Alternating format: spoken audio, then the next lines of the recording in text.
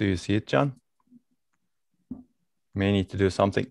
Okay. No. Yeah. Okay, cool. Okay. I think we have students admitted also, so we can get started. Well, our students admitted, I think? I'm not sure. Yeah, okay. Now I see people being admitted. Okay, cool. Let me, let's give it a minute and then uh, we can get started.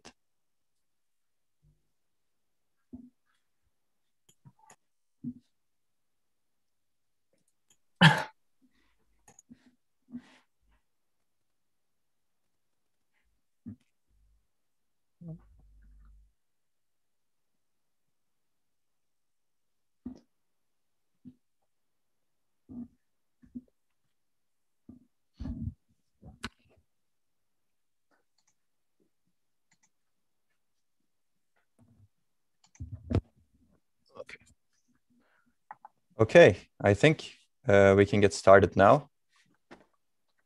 Uh, okay, uh, welcome to lecture seven uh, of digital design and computer architecture.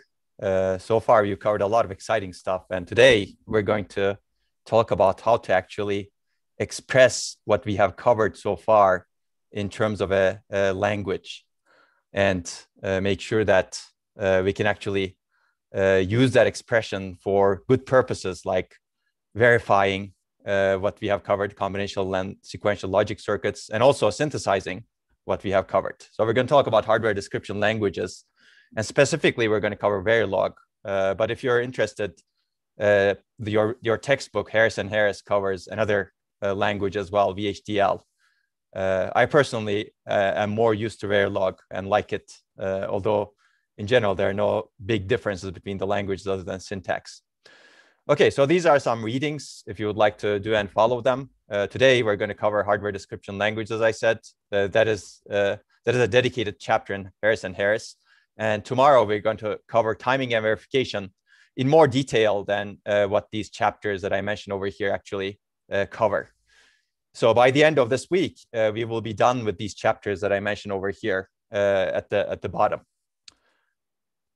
And uh, next week, we're going to start the von Neumann model uh, and instruction set architecture, LC3 and MIPS, two different instruction set architectures. So here are some readings uh, related to them. And then we're going to also talk about programming in assembly uh, using uh, the instruction set architectures. Uh, and this, this is the reading. And I will recommend, as I did before, that you read the digital building blocks chapter from Harris and Harris, which talks about a lot of interesting digital building blocks like adders, for example we didn't go into a lot of detail in adders, if you remember.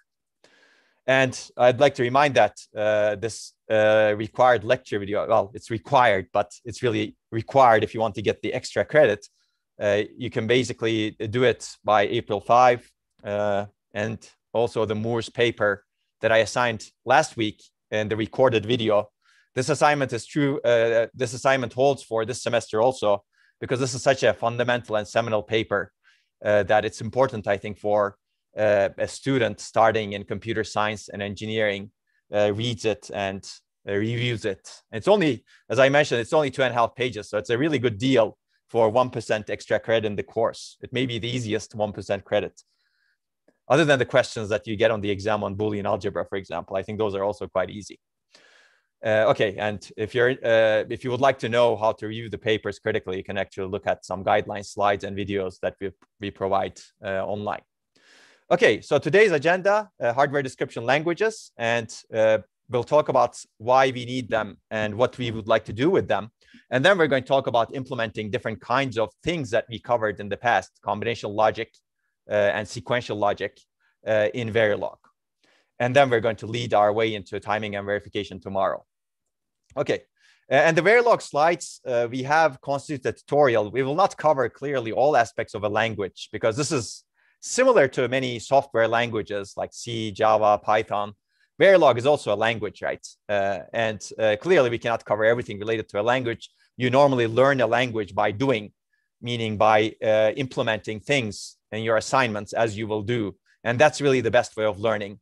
What I will cover here is some basics and fundamentals and some principles for good design, good hardware design using uh, hardware description languages. But Uh, I will not go into a whole lot of detail. Uh, and all slides will be beneficial, especially for your labs, but also for uh, design principles uh, with hardware description languages. Okay, before I start, uh, I would like to cover a few slides that I injected into last week's lecture on sequential logic that were not covered in the video. Uh, we remember last last lecture, lecture six, was on sequential logic design, and we discussed how to design circuits that can remember uh, past inputs and past outputs, basically past things in general. Uh, and this consists of uh, some sequential elements uh, that, uh, store, that is essentially memory that store data, uh, data storage, and also some combinational elements that update that data and, and provide inputs, for example, provide the outputs, for example. That's, that's sequential logic. We will see that again.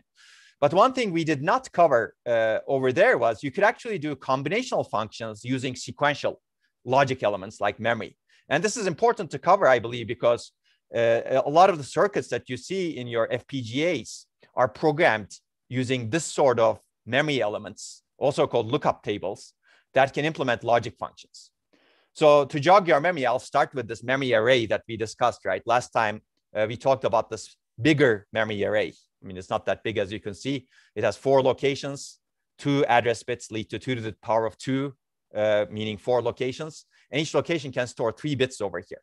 So this is our memory, right? And we constructed this memory from the ground up. If you remember, this is the uh, uh, this is our latch uh, we designed earlier uh, before constructing this memory. And we use a decoder to decode the address. And then we use a multiplexer to select uh, which address we're reading from, which row we're reading from, so that we can drive the appropriate data out uh, in this data out uh, location.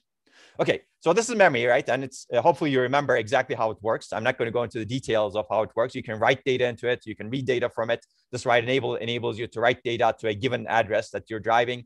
And if you don't assert the right enable but give an address, then you can read the data from that address. Okay, now let's take a look at how we can perform Boolean logic functions using this memory array. So this is a very simple memory-based lookup table example. This is uh, this is essentially the one bit uh, so, okay, imagine just this part of your memory. So I'm circling this uh, one bit line, if you will, uh, D2 element over here. Imagine we have only that part. We have the decoder, we have four, uh, uh, four rows in memory, and we have one bit line coming down. So that's what I actually extracted over here from directly your book also. Basically, this is a memory uh, element. this is this it has four locations. Each location stores one bit, and you have one output Y. And in this case, they didn't really show the decoder. There's some way of driving this bit line using a decoder. It could be tri-state buffers, for example. It could be what, what we showed over here. It could be AND and OR gates. Uh, but imagine that it's being driven in some way. I think imagining that it's driven by a tri-state buffer is an easy one, for example. And that tri-state buffer is controlled by the address bits also uh, over here. So what we have over here is uh, two, two, uh, two bits of address that are input and you can see that the data is stored in four different elements. And the data is stored in such a way that it's a function of the address. Meaning, if you want to, if you, if you want this memory to function as an AND gate, uh, for example, which is the case over here, what we do is uh, at address 00, 0, we store value 0. At address 01, we store value 0. At address 10, we store value 0. Only in address 11, when both of the address bits are 1, we store the value one. Now, depending on the input combination we give to the address bits, we get an output. And that output is really a function of the address bits, right? So this is a memory structure that gives me, a, uh, that gives me an AND function of the address bits. So you can imagine, you can uh, abstract this away. Don't think of this as a memory structure. Think of this as a cloud, let's say. I have two inputs, A and B, and I have one output Y. And this memory is really implementing the truth table of an AND function.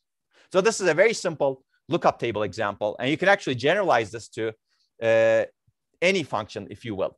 So if you have a 2 to the n location, m bit memory, in this case, we have 2 to the 2 locations, 1 bit output memory. Uh, if you have 2 to the n location, m bit memory, you can perform any m in, n input, m output function, combinational logic function, uh, by ensuring that you actually uh, place uh, uh, the right output bits in the right locations as a function of the address. So hopefully that's clear. Now you can actually imagine uh, coming up with different truth tables and different memories that implement different truth tables. Now this is called a lookup table. This has a special name. A lookup table is a memory array that's used to perform logic functions. And that's exactly what we have over here. So each address uh, that we have is a row in the truth table. And each data bit is a corresponding output value. Okay, so I'm not going to go into more details over here, but these lookup tables are commonly used in what you're going to program do in your labs here in FPGAs.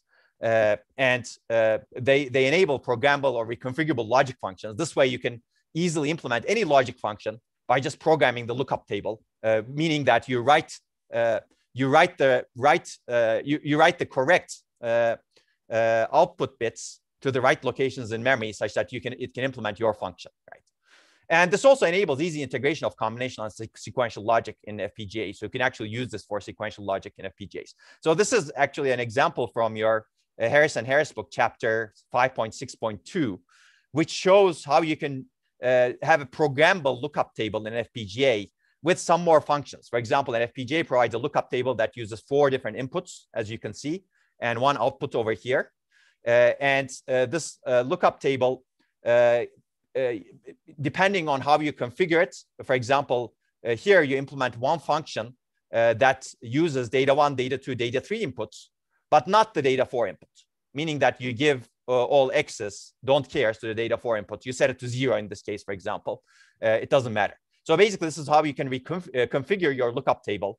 what happens is when you actually implement a function uh, in an F, uh, in, in an F, to be synthesized onto an FPGA, this, this bit stream gets transferred into the lookup table such that the lookup table stores the correct function as a function of the address. So the lookup table gets programmed by writing the uh, uh, right values to the right locations, correct locations uh, in the memory un underlying this lookup table. Okay, this is another example from your book. Again, this, this gives you a two input function of A and B, one output function, uh, one output uh, that gives you Y. So if you want to actually implement a function that has, uh, that has three inputs, A, B, C, and one output X depends on A, B, C, and the other output depends on Y, you use two lookup tables, as you can see over here in this case. I'm not going to go into more detail over here, but based on the example that we have seen, now you know exactly how a truth table functions for an AND gate. You could do it for an OR gate, for example, and you could actually build more complicated functions uh, as well. So somebody's asking, why is there a MUX? Uh, basically, that enables you to connect different blocks in an FPGA. Uh, there's a MUX, if, as you can see over here, uh, that takes C, but it could also enable you to take some other input from some other block uh, com uh, coming from an FPGA so that you can actually choose between different inputs that go into the lookup table. That enables you to configure glo more globally between different uh, lookup tables and between different logic elements in your FPGA. That, that's true for the output over here. For example, you could select the output coming from somewhere else. It's not shown over here what it's connected to, but it's connected to somewhere in an FPGA. Okay, so that was an aside. It took some time, but I thought it was important uh, to understand this concept. Uh, lookup tables are interesting because it enables you to use sequential elements to uh, implement combinational functions.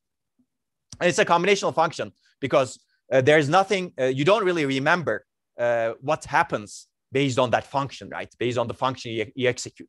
The, the memory elements are there to actually just store the outputs of the function. So it's really not a sequential uh, function that you're executing over there. Okay, so now let's go into hardware description language and Verilog, and you will see how uh, that uh, lookup table can be implemented in hardware description language as well later on.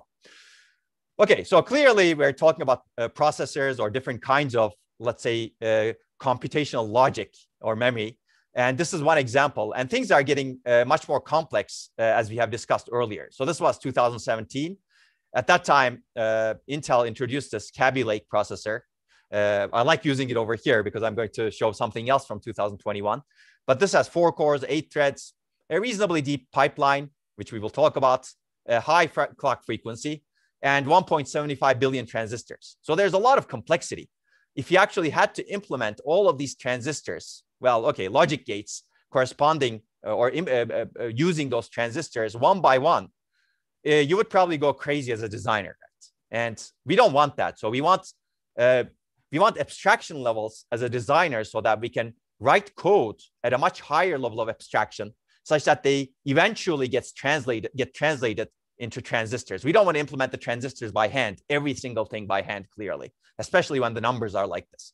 And, uh, and clearly, as I showed you Moore's law earlier, and you're going to read the paper, in about 47 to 50 years, there has been a 1 million fold growth in transistor count, and as well as performance at the same time.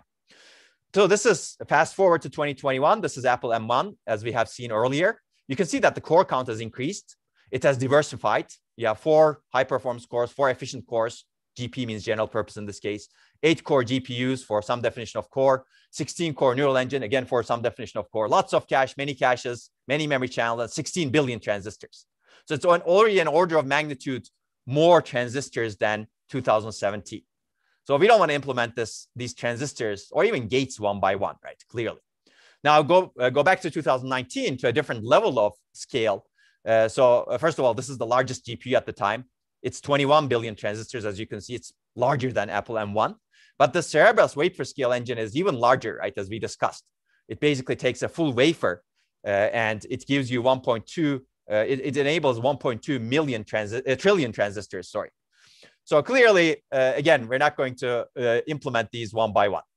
So how, basically, my point is uh, these chips are getting more, much more and more complex, and dealing with this complexity is becoming increasingly difficult. Uh, and essentially, hardware description languages enable us a very good way of dealing with this complexity. Now, this was not different 20 years ago. Also, even 20 years ago, we had millions of transistors, let's say, and at that time, it was still very important uh, to design at a higher abstraction level so that we don't need to deal with every single gate at the low level.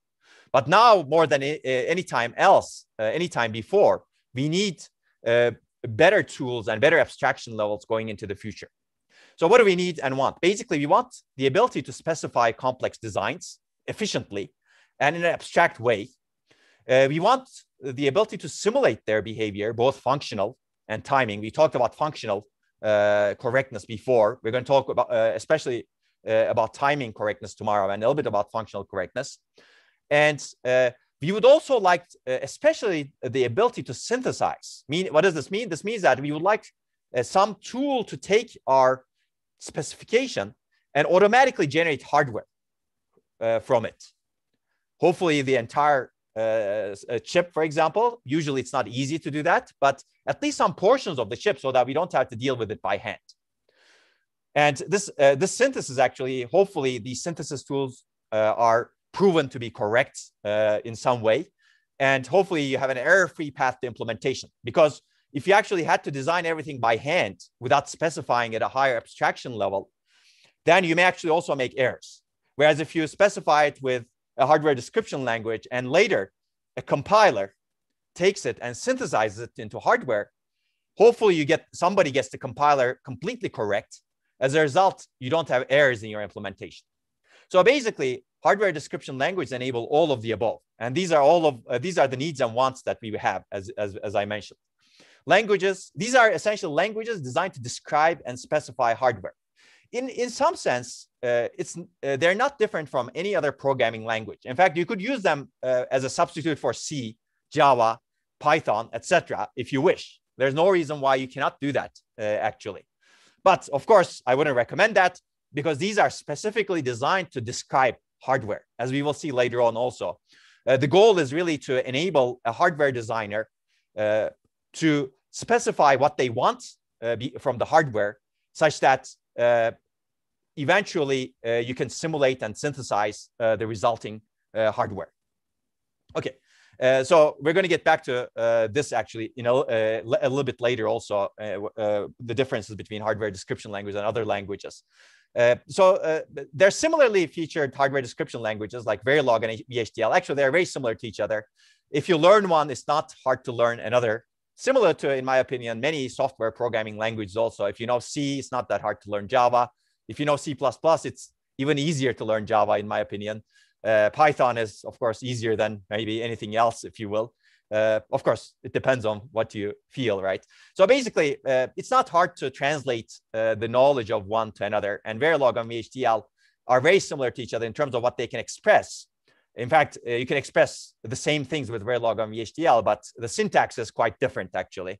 Uh, personally, I like Verilog syntax better, but again, that's a personal uh, choice. And uh, mapping between languages is typically mechanical. So you can actually translate from very, translate a program written in Verilog to VHDL relatively easily, especially for the commonly used subset. But I'm not going to talk about that uh, in detail. So uh, essentially, there are two well-known hardware description languages. I'm going to talk about that, but I would like to mention one difference: uh, uh, why we need hardware description language. Why we don't? Why don't we use C or Java or something like that? This will become more clear later on when we talk about gates, for example, or when we talk about the gate descriptions in hardware. But basically, you want something that can describe the structures in hardware. There are two things I think. You want something that describes the structures of the hardware, and you want something that enables a parallelism of hardware. So both of them are missing in more general purpose software programming languages. You cannot, uh, at least easily, describe the structures uh, of gates, uh, uh, AND gate, NOT gate, NOR gate, and even more complicated things using C, C++. You could do that to some level, no question about that. Uh, so that's one thing that's missing in uh, large, uh, software, high-level software programming languages. But the second thing that's definitely missing, maybe you could get around the fact that you cannot specify AND gate or gate by building your own library. But the thing that is definitely missing, which is hard to get around, you could you could actually get around that also, but it's just very hard to get around, is the parallels. Uh, meaning in hardware, whenever you have a signal, uh, multiple signals, let's say, or, or multiple gates, they concurrently operate right? We want a language that specifies this concurrent or parallel operation uh, that goes on in hardware. Whereas if you look at C, Python, Java, etc., whatever your favorite language, they're very sequential, right? You don't have a construct that says, oh, uh, these things happen in parallel. I mean, you could, again, you could augment the language, but by nature, the language is not designed uh, to express that level of parallelism. So actually, hardware people who, who know how to really describe hardware and design hardware are also very good software uh, uh, engineers because they know exactly how parallelism works. If you actually learn how to describe hardware really well in this course, uh, you will know uh, the extent of parallelism because hardware is inherently parallel in nature, unless you make it sequential in some way by adding, let's say, uh, uh, um, sequential constructs in between, for example. But by nature, if you look at a combinational circuit, it's completely parallel, right? Uh, the uh, the uh, uh the signals traverse uh, the circuit in parallel. As a result, you have to think in parallel when you're actually designing your hardware and when you're describing your hardware. And the key thing in these two languages, at least the two well-known hardware description languages, there are many more than these two, is that they enable you to describe this parallelism and concurrency in hardware. Plus, they have uh, inherent support for hardware uh, level gates and modules, etc., as we will see later. So keep this in mind. This parallelism is extremely important. Uh, you may have done some parallel programming, but hardware is going to be even more inherently parallel than what you have seen in parallel programming, for example. Okay, so there are two of them, as I have named before. Verilog, I'm not going to go into more details. They're very similar. These are all developed in the 1980s by different entities, as you can see. And they're both IEEE uh, uh, standards, actually. Uh, Institute of Electrical and Electronics Engineers, if you would like to know what IEEE stands for. But uh, they're standardized, so anyone can, uses them, uh, can use them. They're actually different standards. Verilog happens to be more popular in the US. VHDL is has another name, as you can see. Uh, even though that was also uh, developed in the US, it's uh, for some reasons more popular in Europe. and don't ask me why, it's just historical, basically. In this course, we will use Verilog, but again, if you know one, it's very easy to, to use one. Now, I should also say that uh, these are standard vanilla versions of these languages. If you go to a hardware design company, which essentially all interesting companies today are doing hardware design, as we discussed earlier, right? Google is doing hardware design, Microsoft is doing hardware design, Amazon is doing hardware design. So essentially, I don't want to call hardware design. If you do a comp, if you go to a company that does hardware design, you will see that usually they use their own versions of hardware description languages uh, that have uh, things that are that are more suitable for their needs and for their goals. So you may actually have a different type of Verilog or something that's spawned off from Verilog, but they have uh, a significantly extended version such that they can describe things that they really want to describe in the architectures that they're trying to build. So I keep in mind that what we're going to see is more standard, but uh, uh, the standard is really fundamental in the end, and uh, uh, you can you can add add more on top of it so that you can customize the tool set and the uh, and the description language that you have for your own purposes. Okay, so now let's jump into hardware design using HDL. Essentially, uh, one important principle is to do hierarchical design. Basically, we want to uh, design a hierarchy of modules so that we can control the complexity that we have and also uh, debug it more easily, etc. So basically, if you look at, look at this picture over here, sorry about that, uh, the, you can see uh, there are some modules that are different from each other. There's a memory controller, there are different cores, there's a shared L3 cache, there are different things, queues, on cores, IO. I'm not going to go into detail clearly. But if you look inside the L3 cache, it consists of uh, some different modules also potentially, or an array of modules like memory. And then each module piece can consist of some combinational and sequential logic. And of course, how many is a good question over here. But basically, we want hierarchical design to ease our job. So we may start with some predefined primitive gates like AND, OR, NOT, etc. And simple modules are built by instantiating these gates to, for example, we can build components like muxes, multiplexers, like we have seen two lectures ago, using ANDs and ORs, and, uh, and the NOTs, of course. And complex modules are built by instantiating these simple modules, uh, again, in some fashion, right? And of course, you can instantiate arrays of modules as well. So hierarchy is important because it controls complexity, as I said. It's analogous to the use of function, functions or methods in programming. So we clearly have function abstraction or method abstraction in programming. Uh, and uh, this hierarchy, uh, the modules are essentially implementing a function that we want uh, to be described uh, for hardware design.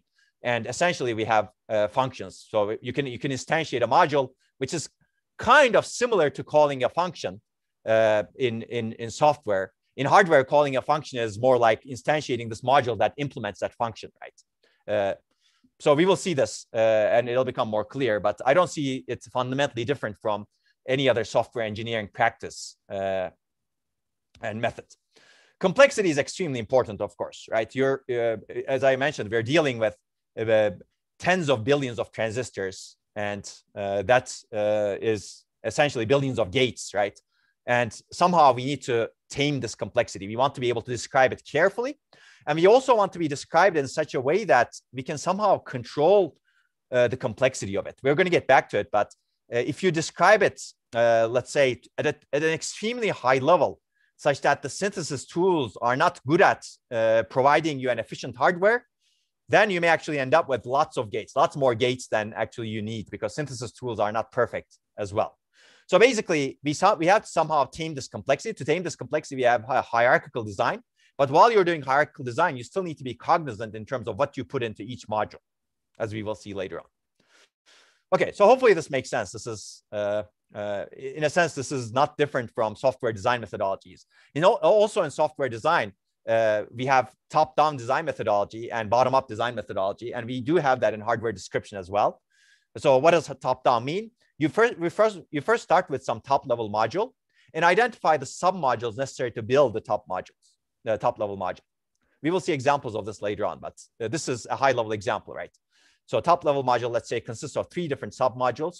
And then you subdivide the submodules until you come to leaf cells. Leaf cells are circuit components that cannot be further divided. For example, a logic gate, or if you're using a cell library, uh, cell libraries are essentially libraries that you can instantiate uh, that someone has implemented. So for example, someone has implemented a great multiplexer and you say you want to use a multiplexer and you don't want to deal with the lower level implementation of the multiplexer. You basically say, I'm going to stop at this level. I'm just going to instantiate this multiplexer because it's great. I know it's in this library. It has the characteristics that I want. It could be an adder, right? I, I want this adder and somebody did that adder for me. I'm not going to go into the gate level because that's that's too much uh, design overhead for me. I'm just going to use this adder in this library. It could be many adders you have in the library. You pick one, right? It could be a cache. I mean, it could you could you could actually say, okay, I like this cache design. It's in my library, and I'm going to instantiate 64 kilobytes of it. I don't care uh, about the implementation, underlying implementation. That's my leaf cell, right? So basically, this leaf cell really depends on uh, what you consider to be a, to be the lowest level of abstraction you want to deal with in your hardware description. And it could be logic gate, as I said, as, as low as logic gates. It could be a NOT gate, for example, your leaf cell. But if you actually do everything with a NOT gate, clearly your design productivity also goes down because uh, remember, we have billions of these gates uh, in, a, in a chip and they're increasing. Okay, so this is one way of designing uh, systems. For example, you can come up with a cache module And then you can divide into controller module and a memory array module, uh, and then let's say an output module. And then you can, each of these submodules can be uh, uh, different things, right? Uh, when I say cache, think of it as memory. So memory has some controller, some uh, array, and some output module. And then array itself may have a decoder module and a multiplexer module, and then different pieces. So you can imagine different ways of subdividing a, circuit that you're given. Okay, so there's also a bottom-up design methodology, which is exactly opposite. You first identify the building blocks that are available to you, leaf cells, and then you build bigger modules using these building blocks, submodules, and then these modules are used for high-level modules until we build the top-level module in the design, which leads to what we have shown earlier. So this really uh, is about how you go about designing things. And usually, whenever you design things, it's a combination of both. You first need to identify what your leaf cells are, and then that can drive things bottom up. But also sometimes you drive things top down until you stop at the leaf cells. Usually uh, good designs are done both top down and bottom up, in my opinion. Okay, so now let's say, let's take a look at how we define a module in Verilog. A module is the main building block in Verilog, essentially. We first need to define the name of the module. Whenever you're programming, for example, for your uh, assignments, uh, you will need to provide a name for the module. You need to give the directions of its ports. You, you, you basically say this, this module, this example module has three inputs and two, one output, for example. You need to give names to the ports, A, B, C input ports and Y output port, for example. And then you need to describe the functionality of the module. Essentially, this is what we did, if you will, when we talked about uh, combinational and sequential logic earlier. We described the functionality using truth tables, for example, or Boolean expressions, or pictures of gates uh, earlier. Uh, now we're going to do that in a programming language called Verilog. Uh, so let's take a look at this module, example module. Uh, this, I'm going to give you the syntax of it, but I'm not going to spend a lot of time on the syntax clearly. Uh, but you need the name of the module, as you can see. Uh, you need the you need to specify which ones are inputs over here. Here you have A, B, C, Y, and then uh, A, B, C are specified as inputs, and Y is specified the output. And then you need to have an end module to make sure that the compiler knows where to stop uh, when they're compiling uh, this module, right? And of course, the circuit description comes here, and we're going to see example of it. And this is the definition of a module, essentially. And that's not the only way of doing it. Uh, well, I've already said all of this. Name of the module, port list, input and outputs, and ports have a declared type, basically, whether they're inputs and outputs. And uh, that uh, this is uh, you don't you didn't need to put inputs and outputs inside the module. In fact, it's it may be better to actually uh, name them like this. When you, whenever you're defining the module, you can combine the name and the direction, like input and output over here. So these two codes are functionally completely identical, as you can see. It's just syntactically they're different. Again, it depends on uh, what kind of style you follow uh, or your company follows. Uh, it's always good to follow a consistent style in general so that you don't get surprised. Uh, because whenever you have surprises in programming, uh, in software design or in hardware description design, uh, the surprises increase the probability of uh, a bug, let's say, being injected into your system. As long as you're following a, a consistent style with everybody else, the probability of bugs, at least due to these stylistic issues, uh, reduces. Okay, so what if you have multiple bits uh, of input and output? You can clearly define multi-bit input and output. You have to. This is, this is called a bus, as we have seen before, wires, essentially. You just need to give the range end and range start, as we will see. It's best to know, know these things with, with examples, basically. I can show you this picture, for example, on the slide, but it may not mean anything. Let's take a look at an example. So this is, for example, uh, A is uh, a 32-bit value. As you can see, it has uh, bit, uh, the most significant bit is 31, the least significant bit is zero. So we prefer to define it uh, uh, uh, basically this, this is, so sorry a, a is essentially a bus multiple multi-bit input uh, so it's defined this way basically. Uh, so i think that there's a bug over here. This should be uh, yeah this is fine i think. Uh, so we, prefer to define it actually this way. 31 0a it's preferred over the 031a which resembles an array definition. So there's there's some confusion related to which one comes first 31 or 0 but we're, we're going to use this one this definition over here, uh, where the larger number comes on the left. And it's good to be consistency. Again, as I mentioned earlier, it's good to be consistent with the representation of these multi-bit signals. You always use the larger value first, for example. Okay, another example over here is B1 and B2, for example, two buses, uh, 15, 8, uh, 8-bit value. uh, is B1, another 8-bit value that is 70 B2, and then you can later combine them in some way, as we will see in concatenation, for example. That's why we say 15 through 8 is over here, bits 7 through 0 is over here. But this means that this is really an 8-bit signal, and this is another 8-bit signal over here. And this is a single-bit signal, as you can see, if you don't have uh, this notation in front of it. Okay, so hopefully this is relatively easy, and you will do a lot of this actually in your lab. So I'm going to go through this relatively quickly. But basically, you can manipulate bits once you actually have these buses. Uh, this is also called bit slicing. Uh, basically, you can assign partial buses. You can have a long bus that's 16 bits like this. Uh, sorry. Uh, you can basically you can declare as a wire, for example. Wire is something internal to the module. Now you can see that language has support for wires, for example, right? It's basically a bus uh, of 16 bits, 16 wires essentially. Uh, this is another short bus, eight, eight, uh, eight wires or eight bits. And you can assign the short bus as an eight bit uh, portion of the long bus. Basically, I want long buses, bits 5 through 12, to be assigned to the short bus. Okay, so that 8 bit part of the long bus gets uh, to be directed to the short bus, if you will. So this is bit slicing. You could, you could have actually taken individual bits of the long bus and concatenated them, as we will see in the next example. So you could do concatenation. So for example, you can assign y as, let's assume that you have declared a earlier, as we discussed, as, as a four-bit bus or four-bit wire uh, that has a's uh, second bit, a's one bit, a second bit as the most significant bit, a's first bit as the next significant bit, a zeroth bit as the next significant bit, and a zeroth bit again as the least significant bit. So this is a four-bit value, as you can see. You can also do duplication.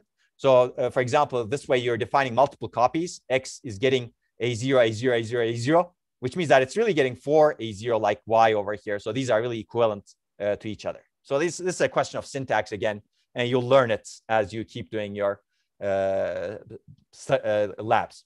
So Verilog is case sensitive. It's important to think about, uh, keep that in mind. So these two things, some name are not the same if they're different in their cases. Names cannot start with numbers. Uh, white space are ignored. Uh, so you can see comments over here. Single line comments are like this. Multi-line comments are like this. Uh, I'm going to go through some of the syntactic issues very quickly because you will learn them anyway. Uh, so there are two main styles. This is important. It's not syntactic. This is really uh, about uh, abstraction and thinking. so and how you design, how you describe things. There are two main styles of hardware description language implementation. You can specify your hardware in terms of structural level or gate level uh, or behavioral. Let's talk about structural. Structural is uh, where you define the module body as a gate level description of the circuit. And then you build up uh, gate level into uh, larger level modules, let's say. Uh, you can you describe how modules are interconnected, and each module contains other modules and instances, and then you end up with a gate level at the very bottom. And uh, module also describes the interconnections between those mo modules as well uh, or submodules, let's say. Uh, and then you describe a hierarchy of modules defined as gates at the very bottom level. Okay, contrast this to behavioral. Behavioral is essentially uh, uh, the case where the module body contains a functional description of the circuit. This cannot, this doesn't need to be gate level. You can basically and have an if-else statement, uh, or you can you can have a case statement, for example, as we will see uh, later on, or you can have logical uh, fu uh, functions that are called. You can have a plus value that doesn't add, for example, and that's behavioral basically. Behavioral, you specify, oh, this function, uh, this uh, this module is going to add a and b. It's a plus b. That's it. You don't go into the gate level basically. So that's the difference between behavioral and structural. Uh, so behavioral can contain logical and mathematical operators, and level of abstraction is clearly higher than gate level in this case because you don't go into the lower gate level. Uh, which means that there are many possible gate level realizations of a behavioral description. So this gives some flexibility to the hardware description language synthesis tools, but it also makes their life more complex. Whenever you describe things structurally, you're making things more specified in terms of how they should be synthesized potentially. Of course, if you have a really intelligent hardware description language synthesis tool, it can basically figure out what you're doing in this function and it can actually uh, implement a better function, even if you specified uh, better implementation of that function, if you describe structurally. But behaviorally, you're at a much higher level, and uh, the uh, the hardware description language synthesis tool can actually have many different possibilities in implementing or synthesizing your circuit. And uh, practical designs actually use a combination of both structural and behavioral. Uh, and in our labs, we're going to use a combination of structural and behavioral. Uh, so, okay, let's start with the structural or gate level hardware description languages. So this is an example module. Uh, I, see, I give you uh, the top module over here, and then uh, sub-modules of small that are exactly the same. and you can see that the top module has three inputs and one output, and the modules that are instantiated within that top module, I first and I second, have each have two inputs and one output, and they're connected this way basically. So if you have this example module, uh, you can actually build a schematic. This is called a schematic, actually. Essentially, this is uh, a view of what the module looks like pictorially.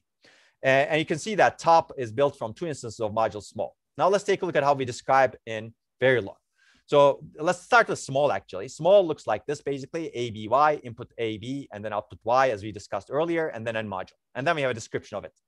Top is the interesting part because we're going to use two small modules over here. And we define inputs, outputs, and we define wire N1 because that's the only wire we really need to define and connect between the modules. Everything else is input or output, as you can see. And then uh, we basically name it top, of course, and we already named that small. I already said that. So basically, you first instantiate small once, and this is how we instantiate it. You basically call function small, let's say, or module small, and you basically connect input A to the A input of the module of the of the of small, input uh, select to the B input of the module uh, of small, and input uh, and output Y, uh, which is uh, this one over here, output Y of the small, uh, sorry, output Y of the small to this N1 wire. So basically by inst instantiating means that you specify which inputs of the module, ABY, uh, submodule, small, are connected to what inside the top module. And they could be some of the inputs like AB or A and select over here, and then out and an output like N1 in this case. Okay, now that's the instantiation of our first module, uh, first small module, let's say. And then we instantiate the second small module. So we just need to connect the wires appropriately again, right? So what do we do? So the A input of the second is connected to M1. So we basically take it from N1. So this is going to output M1 and this is going to take N1 as input. B input is connected to C over here. So we connected to uh, the top level input C. And then Y output of the small module is connected to Y output of the top level module, as you can see. So hopefully this is simple. As you can see, it's almost obvious. Basically, you just need to connect uh, the instantiated modules inputs and outputs to the appropriate inputs and wires and outputs of uh, the top level module. And then now you can use this top level module to do the same thing, right, for a higher level module. Okay, and uh, this is one way, this was one way of doing it. And then there's a shorter way of module instantiation. As you can see, uh, I just did this basically. Uh, instead of saying exactly, oh, my input, uh, my, my uh, wires ABY are connected to A sel and N1, this explicitly, we did it implicitly. Now, the problem with this is now uh, pin order becomes very important. If you want to do this, you cannot basically say, put select as the first one and A is the next one, depending on what the module does, of course, internally. Uh, you really need to give the same order as the module expects uh, the inputs and outputs. So this is again prone to error. This is clearly a safer choice. You can order things in any way over here, for example. You can first say, oh, I'm going to connect the B input to C. I'm going to connect the output to Y. I'm going to connect the A input to M1. And then because you explicitly specify everything, you don't need to be order them.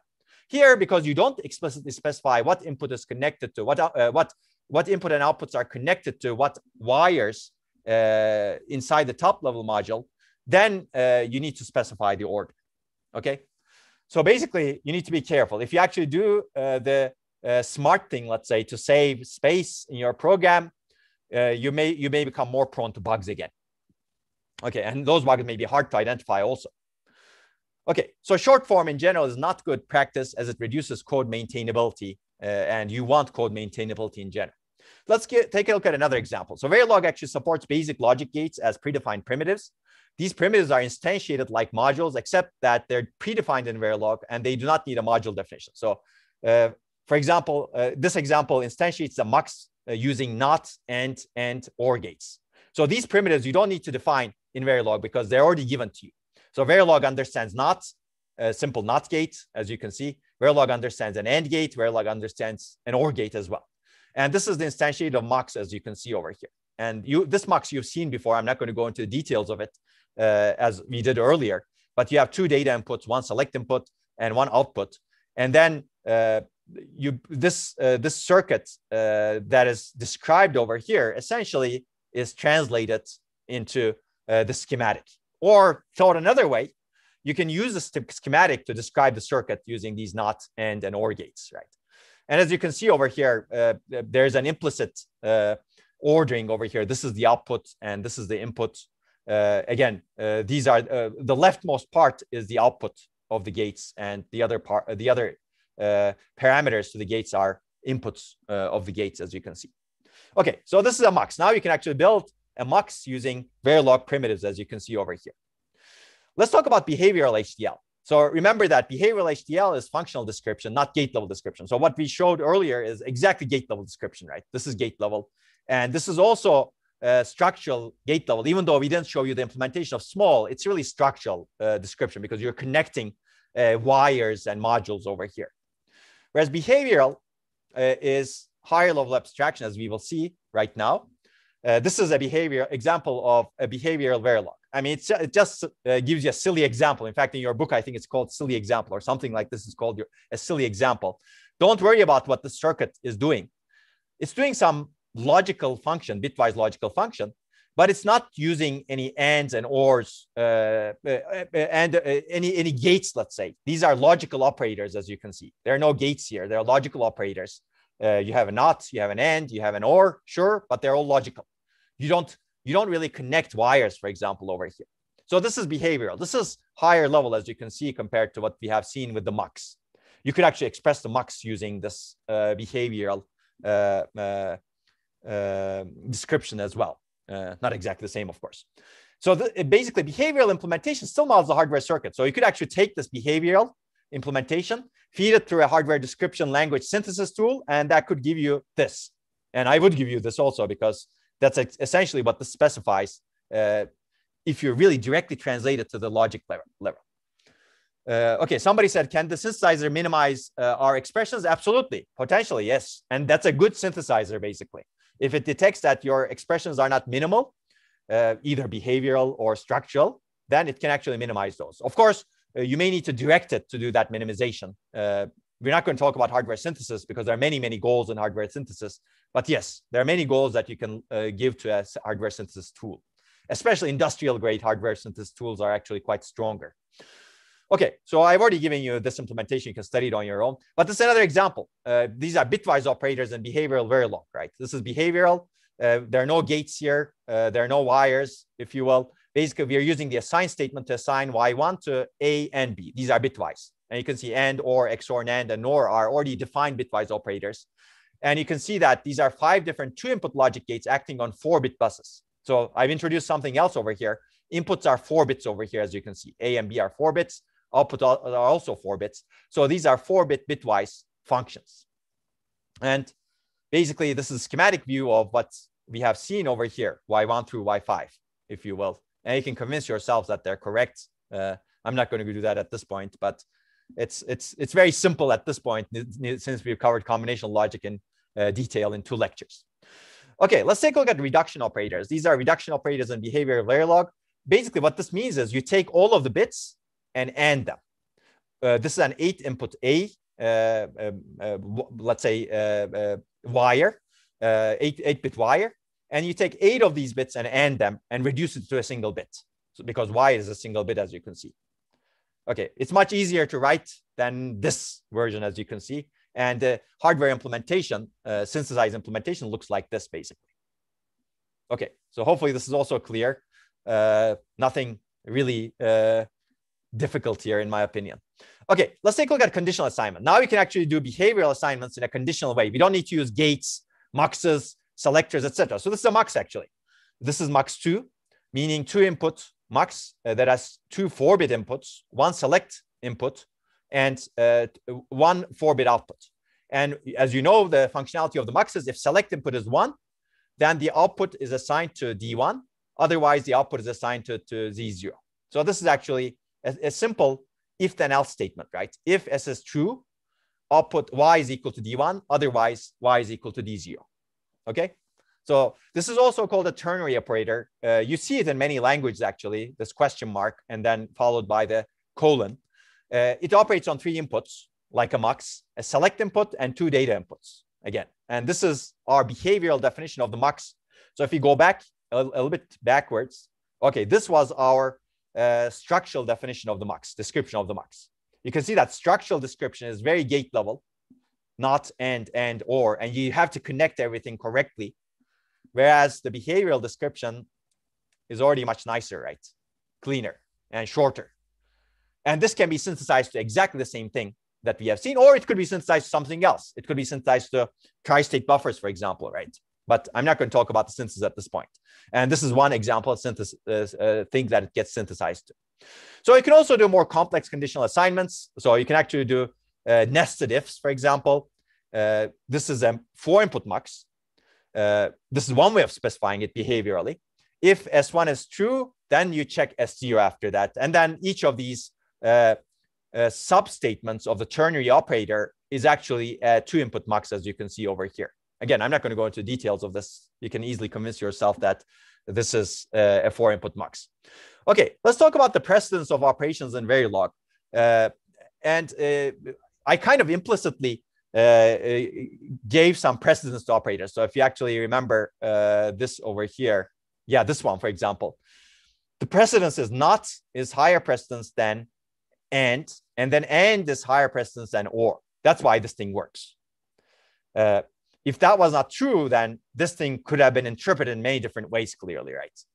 But there is a precedence to the operators, not is higher precedence than and, and and is higher precedence than or. That's why you interpret this as not A and not B and not C, ORed with not uh, A and not B and not C, ORed with A and not B and C. Okay. That's why the gate level description looks like this. Okay. Okay, so I'm not going to go through all the precedents, but you can see the highest precedence not, and then multiply, add, shift. So you can also see that these are operators that you can use in the behavioral Verilog. You could actually modulo, for example. You don't need to implement modulo using gates or divide using gates or multiply using gates. You can have behavioral uh, descriptions of those things that you want to do. Lowest is the ternary operator, as you can see, because you want to actually uh, have a higher precedence in the sub-expressions or sub-phrases of the ternary operator. Okay, let's talk about how to express numbers relatively quickly. I'm going to finish some part and then we're going to take a, a break uh, because these are relatively easy concepts. So hopefully they'll be easy. And we're going to talk about some more interesting concepts later on. So this is uh, how we express uh, an 8-bit num uh, 8-bit number over here, as you can see. Uh, let's take a look at example. Basically, n is the number of bits. Uh, this b, okay, n express how many bits will be used to store the value. b is the base. Is it binary? Is it hexadecimal? Is it decimal? Is it octal? As you can see, this is binary. So this is an 8-bit binary number. And XX is essentially the number that comes after that, the value expressed in the base. So you can see that this is an 8-bit binary number, zero, uh, zero, zero, zero, zero, zero, zero, one. Okay. You can also have invalid and floating values as we uh, discussed earlier. Floating is what we discussed earlier. X is really not don't care in this case, but it's more invalid. Uh, and you need some have some invalid values uh, to operate on especially when you're simulating the circuit later on, as we will see. Uh, underscore can be improved, used to improve re readability, as you can see over here. Uh, again, nothing is really uh, difficult over here, as you can see. And this is one example. Uh, the, the, different number representations, Verilog, for example, this is 32 bits default. So if you don't actually specify uh, uh, this, it, it defaults to 32 bits. If you don't give the uh, number, for example, as 8 or 32 or 4, it defaults to 32 bits. Okay, and uh, you, don't, you, uh, you don't need to give all the zeros also at the beginning. But if you want to give a 12 uh, a digit hexadecimal number FA3 uh, or 12-bit hexadecimal number FA3, it's basically st is stored as 12 bits over here that correspond to F, A, and 3. Okay, uh, so floating signals, just as a reminder, uh, this is a signal that is not driven by any circuit. Uh, it could be open circuit or floating wire, also known as high impedance, high Z or tri-stated signals. We discussed already this, these slides. These are nothing new for you. Uh, and this is one example of the tri-state buffer uh, in uh, a Verilog. Basically, it's uh, it's an, you have an enable signal. If enable signal is one, uh, the tri-state buffer's output is A. Otherwise, the tri-state buffer output is a four-bit Z floating signal. So this is how you can implement a tri-state buffer in Verilog, for example, to enable your lookup table, perhaps, right, as we discussed earlier. Okay, we already discussed tri-state buffer. I'm not going to talk about this. If you're really interested in, if you if you if you did not uh, study it earlier, you can take a look at combinational logic lecture five. Uh, okay, uh, and we already discussed why they could be useful. These are uh, previous slides that we already covered. Remember this example where you may want to have CPU driving the bus or memory driving the bus, but not both of them driving the bus at the same time. Then you control the uh, enable signals of the tri-state buffers attached to CPU and memory appropriately uh, so that you can actually uh, uh, control who's driving the bus at a given time. Hopefully not both of them, right? You don't want to enable both of these tri-state buffers. Uh, okay, uh, this is another example directly from your book that shows essentially the same thing, but more sophisticated from a real system. And we're going to study exactly something like this later on when we talk about LC3, but real systems are more complicated, as you uh, know also. So this is a truth table of an AND gate with Z and X. Uh, I just want to give it to you so that you can look at it. X means invalid. So anything, uh, if you have invalid, then the result will be uh, invalid unless you're really ANDing the invalid with zero. That's the only case where it's not invalid. And you can also have Z floating uh, as part of A and B. So these are the values A can take. These are the values B can take. And you can see that uh, basically you can see the truth table of how Z and X values behave. So if you AND something with zero, you always get a zero, as you can see, right? So that's obvious. But uh, if you AND something with a Z and the other thing is not a zero, uh, you get an uh, X value, invalid value. That's true for X also, okay? So hopefully that's clear.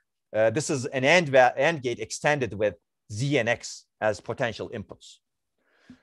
Okay, uh, there's some question, but I think it's already answered. So we get to parameters uh, to specify uh, whether you can instantiate a circuit with different uh, uh, width, let's say. but let's get to that when we get to it. So recall, we also discussed this truth table. This truth table also is not new to you, actually. When we discussed the priority circuit, you have inputs as requesters with priority levels and outputs with grant signal for each requester. We said that you could reduce the truth table of that with uh, to, to a truth table that has X values. But in this case, these are don't cares. Uh, they're not necessarily invalid values, basically. These are don't care. So keep in mind that this X over here is a don't care, but this X uh, over here that we discuss in Verilog is really an invalid. So don't confuse these two things uh, when you're doing uh, your truth tables versus when you're doing Verilog uh, design, if you will. Okay. Let me finish this one and then we're going to take a break. Basically, what happens with HDL code is important. There are two things that may happen synthesis and simulation. And they're both important, as we discussed earlier, right? Synthesis is also called hardware synthesis. Basically, we generate hardware. You could also call it hardware generation. Uh, essentially, you can have modern tools that are able to map the synthesizable hardware description language code into low-level cell libraries or gates. Uh, in the end, this is called a netlist, actually. A netlist. Netlist actually gives you uh, uh, uh, essentially the gates and how they're wired together with each other. It's a it's a fancy name for gates and wires together, let's say. And this gets this is basically your hardware uh, hardware specification, synthesized hardware in the end. Now I say synthesizable HDL. Not all hardware description language code is synthesizable. If you actually use constructs that cannot be translated into low-level cell libraries or primitives, uh, then you cannot synthesize it, of course. Uh, for example, as we will see later on, you can write test bench code uh, or simulation code uh, in Verilog. They're not synthesizable. Uh, basically, you, you, need to write code that can be synthesizable for if you would like to be synthesized. So these synthesis tools can perform many optimizations to reduce latency, as we will discuss tomorrow, to reduce uh, size of the circuit, to reduce power consumption, etc. However, they cannot guarantee that a solution is optimal because it, the search space is very large, mainly due to uh, the computationally expensive placement and routing algorithms. And as the circuit becomes bigger, this placement and routing becomes even more complicated. And if you actually put different, even more constraints like power, frequency, uh, latency, uh, uh and also circuit size, then it becomes very, very difficult. It becomes a multi-objective optimization problem uh, that is very hard to guarantee to be optimal. So if you really want these hardware synthesis tools to be to produce what you want, meaning a circuit that's good, uh, for your standards, or for your goals, for your design point, let's put it that way, you need to describe your circuit in HDL in a nice to synthesize way. So I'm going to talk about that in the next slide briefly, uh, but we're not going to go into a lot of detail, meaning that you cannot basically add a lot of hardware into your circuit that uh, you, you basically think the hardware synthesis tool is going to optimize away. They may not be able to basically, because they have a lot of search space. If you start with something extremely suboptimal, uh, the, uh, the hardware synthesis tool may actually have a very difficult time to actually find a really good solution uh, for your design point. But synthesis is the most common way of digital design these days. Most of the time, because of the complexity of the circuits, we want to synthesize as much as possible, but we also want that synthesis to be very, very good. Uh, so uh, the quality of your hardware description language code actually matters. So people have tried to, for example, synthesize hardware from C, C++, Java, high level languages. It's a very good goal, but it's not very easy to get really efficient hardware out of it because first of all, these hardware, these, these languages, uh, high level languages are not designed to describe hardware in a nice way. Second of all, because of that, uh, they, they open up a huge space of optimization for the hardware synthesis tools. Uh, as a result, hardware synthesis tools are not uh, able to find the optimal points or best points in that space uh, in a reasonable amount of time. And sometimes uh, not even in an unreasonable amount of time, they cannot find that. Okay, the second reason uh, we use HDL code, the second thing that happens to HDL code is simulation. Basically, we simulate it. This allows the behavior of the circuit to be verified without actually manufacturing the circuit uh, by simulation, essentially. Simulators work can work on structural or behavioral HDL. Basically, you apply inputs and you get the outputs. And you can actually also have the timing. You can verify both functionality as well as the timing. You verify the functionality by looking at the outputs, by uh, exercising different inputs. And you look at the timing by looking at the waveforms, as I will show you in a little bit. And simulation is really essential for both functional and timing verification. Uh, there are other ways of verifying circuits like formal verification, but with large circuits, they're actually very difficult to do. With small circuits, you may actually be able to do it. But with large circuits, simulation actually is very effective in general. Okay, let's take a look at the silly example that we showed you earlier. Uh, the book calls it silly example. That's why uh, I call it silly example over here. But this is essentially the example that we showed. It does something. And this is the synthesis, basically. This is clearly a very low level of abstraction in your, uh, in your, uh, uh, in your structural uh, Verilog. And this gets directly synthesized to the corresponding gates to the operators, as you can see over here. And if you want to simulate the example, you basically uh, you basically use uh, a tool like Vivado, for example, and apply input signals to it, and then you get a waveform diagram. Uh, and we will discuss later on how to simulate it. And your book also discuss that. And you will see many, many examples. So we're not going to go into a lot of detail uh, clearly in this uh, lecture. But you basically can look at the waveform and see when the signals are changing. Are they changing at appropriate times? You can actually insert delays to it. You can actually uh, check if you have the appropriate timing, etc by actually manipulating the time at which the inputs arrive and different gates behave in terms of how long they take, etc. So you could actually do a very sophisticated simulation using your simulation tools. Okay, uh, let me finish uh, with these two slides and then we'll take a quick break. Uh, but this is very important, I think. Uh, and this is actually directly copied from your book. I'm going to read it. One of the most common mistakes for beginners is to think of HDL as a computer program rather than as a shorthand for describing digital hardware. If you do not know approximately what hardware your HDL should synthesize into, you probably won't like what you get, meaning it will be suboptimal. You might create far more hardware than is necessary, or you might write code that simulates correctly but cannot be implemented in hardware. Instead, think of your system in terms of blocks of combinational logic, registers, and finite state machines. Sketch these blocks on paper and show how they're connected before you start writing your code. So essentially, this is not a program. What we're doing with VHDL and Verilog is really describing hardware. That's why they're called the hardware description language. In the end, the goal is really describe the hardware so that you can synthesize it or simulate it, of course. But if you want to synthesize it, you got to be careful, essentially. You cannot be extremely suboptimal, as I said earlier. Okay, so what we've seen so far, we've seen describing structural hierarchies with Verilog, instantiating modules in another module. We've seen describing functionality using behavioral modeling. And we've seen writing simple logic equations and multiplexer functionality and describing constants, etc. But there's more. Uh, and we're going to take a look at that after the break. So I think at this point, uh, wow, uh, this is this took longer than expected. So let's take an eight minute break. I'm going to cut a little bit into the break because I want to finish. And these, these concepts are relatively easy in my opinion. Uh, so let's take an eight minute break and be back at uh, 1525. And in the meantime, I think there are some questions and maybe TAs and I can look at them uh, to answer. Okay.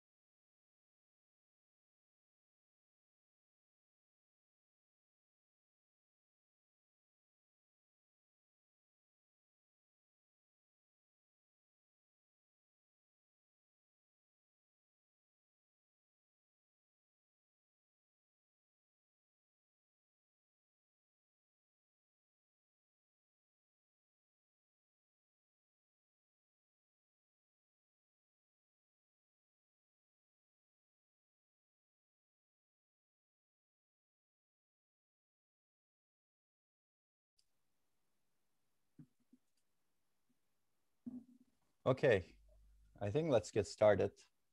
I can see that uh, it's okay. It seems to be working.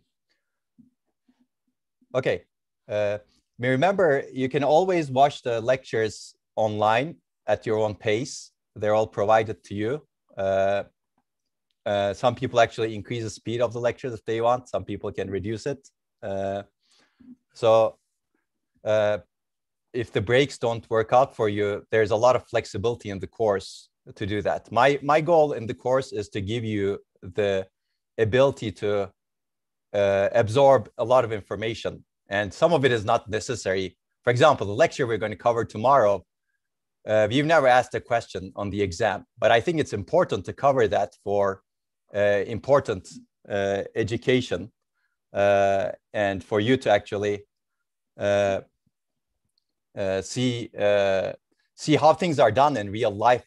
so um, sometimes I, I, get quite excited about these topics, and sometimes we have shorter breaks than necessary. But remember that you can always watch the uh, videos online. If you, you don't have to, as, as I mentioned earlier, also, you don't have to attend the lectures as well. Uh, I think you will benefit uh, from attending the lectures that you're interested in attending, certainly. But for example, we cover Verilog examples here, and some of them are not necessary for everyone, in my opinion.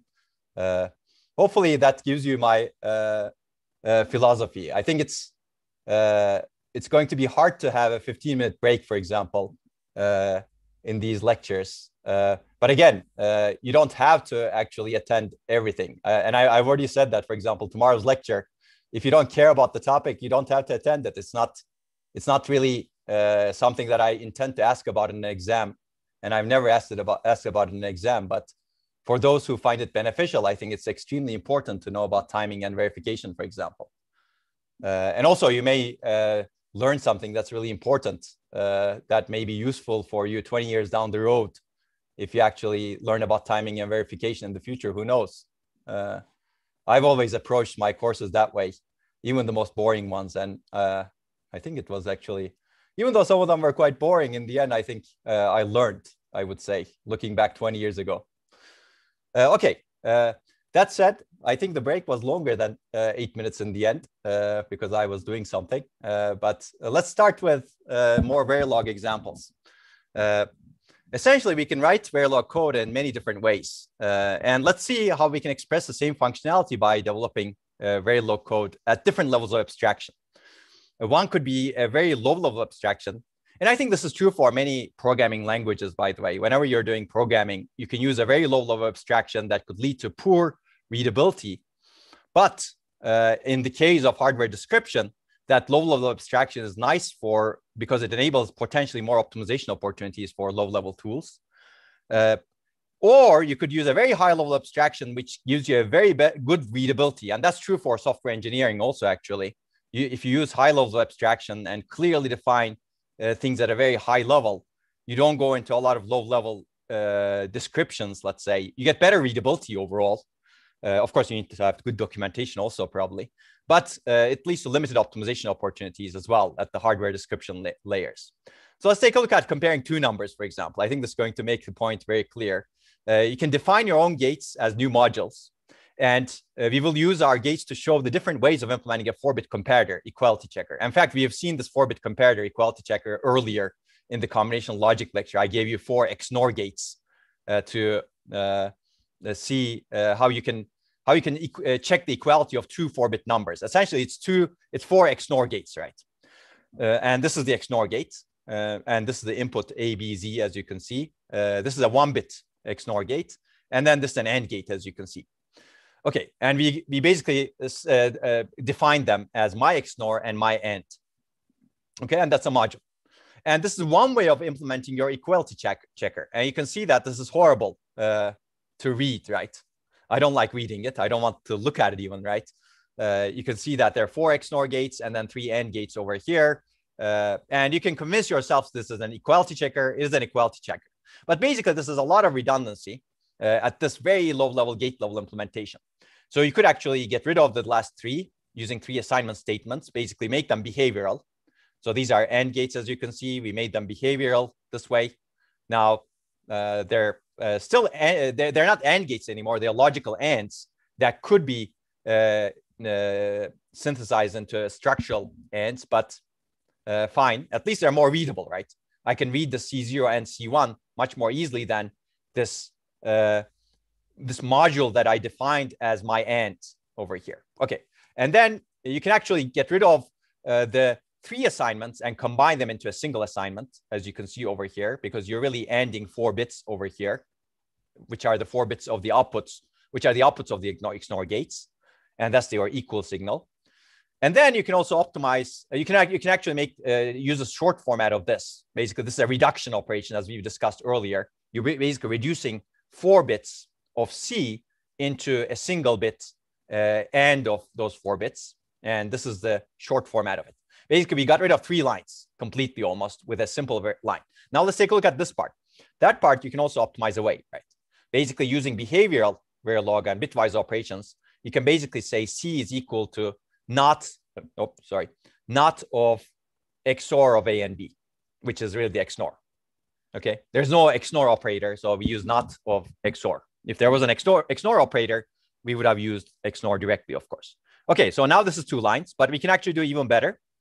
Now we can assign equal to if A equals B, we get one, otherwise we get zero. So this is clearly very short. If actually the language allows, you can actually get rid of even the uh, uh, even the uh, ternary operator over here. Okay, but clearly uh, we came to this much more readable code, behavioral code that's high level from this mess that we started with that was very low level. And this is the mess. Okay, so hopefully this is clear. Again, these concepts, this lecture is relatively easy, right? Uh, you can, uh, but uh, this also tells you something really fundamental in terms of how to develop uh, software, uh, uh, how to do software engineering, and also hardware description in the same sense, in, in the same way. So this is more readable, both in software engineering and hardware description. The difference is here, you may not exactly get the gate level description, uh, the mess that we wrote earlier, right? If you put it, give it to a synthesis tool, the synthesis tool may give you something different from your my AND and my XNOR gates and the way they're connected because it's optimizing away a higher, it's optimizing a higher level uh, function, if you will. Uh, so basically you lose some control if you go higher level uh, when you're doing hardware synthesis. But that may not necessarily be a good thing. That may not necessarily be a bad thing because uh, now your, your optimizer can also potentially optimize uh, things better. But again, the downside could be that if it's too high level, then the optimizer may have too large of a space. In this case, it's not, of course, it's of course trivial, right? It's very simple function. But imagine this being a very complicated function. If that, that complicated function may become relatively hard to synthesize uh, to an optimal level. Whereas if you actually provided the hardware gates like we have provided in this mess over here, maybe we could actually make this mess a little bit better, fine. Uh, but uh, if you actually provide the hardware gates, then the optimizer uh, usually doesn't have, it doesn't do something else than what you provided. Okay, so keep this in mind. There's a trade-off over here. The, the, a similar trade-off actually may uh, may hold in higher level programming languages as well, right? think of think of optimizer or synthesis tool as a compiler. So the compiler here has a, a lot of choice. This is high level, right? The compiler can compile this into many different, uh, let's say, type of instructions. Whereas here, the compiler has less of a choice, unless it's really trying to take that structural level up to up back to some other representation and then compile down from that representation. Uh, it's not going to optimize a whole lot, basically. So think of uh, the hardware synthesis tool similar to a software compiler that compiles a high level language to a much lower level representation. Uh, okay. Okay, so basically we're talking about uh, writing more reusable Verilog code. And I'm going to give you some principles as we go through. Uh, we have a module that can compare two four-bit numbers. What if the overall design, uh, in the overall design, we need to compare sometimes five-bit numbers, sometimes six-bit, sometimes n-bit we really don't want to have modules uh, separately for each of these. And clearly writing code for each case looks tedious. It's just uh, uh, unnecessary code bloat, let's say. So what could be a better way? Clearly, uh, parameterized modules is the example that fixes this problem. And Verilog uh, has parameterized modules. You can define module parameters. This is one example. For example, this is your mux2. Uh, you can say, you can define your parameter width, which really defines the data width of the mux. The data values can be uh, essentially width, and the default parameter is eight. Okay, uh, default, sorry, default, default width is eight. If you don't provide a width when you instantiate your mux, default is going to be eight bits. If you provide 64, it's going to be selecting between 64-bit input data values, okay? So essentially, you can set the parameters to different values when instantiating the module. It's very simple, uh, and this is one example of it, basically. So if the parameter is not given, as I said, the default is assumed. So this is an uh, two, uh, two to one mux that operates on 8-bit data values, okay? Uh, this is a 12-bit uh, or two to one mux that operates with 12-bit data values. And this is a more verbose version of that same two to one mux that operates on 12-bit data values. Okay, so again, hopefully this is simple. Uh, okay, uh, what about timing? So timing is also important. It's possible to define timing relations in Verilog, but they're only for simulation. So whenever you're testing, whenever you're running a test bench, for example, that is testing your module, you can say, okay, I'm going to assume a five nanosecond delay for this input for this wire. I'm going to assume a 10 nanosecond delay for this gate, etc. And then your Vivado tool or whatever simulation framework that you're using to simulate your code uh, actually takes that and basically whenever it generates a waveform, it uses those values to delay the signals by the amount that you specify. That's the idea over here. So this enables you to simulate some timings, but this is not uh, uh, the goal of these are not really to uh, synthesize the timings. Uh, so timing, uh, basically the fact that you say this takes five nanoseconds uh, isn't necessarily true, right? because in the end, how long it takes for a gate or a wire is really determined by the hardware that you map this into.